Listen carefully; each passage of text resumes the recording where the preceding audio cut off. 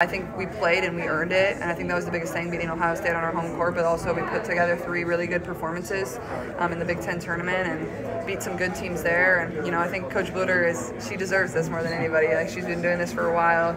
She's had some really great teams, and you know, no matter what, you're just lucky to get in the tournament. And once you're in, you're in, and it doesn't really matter what your seeding is. You know, you can't be worried too much about what what number teams got next to their name. It's you got to go out there and play.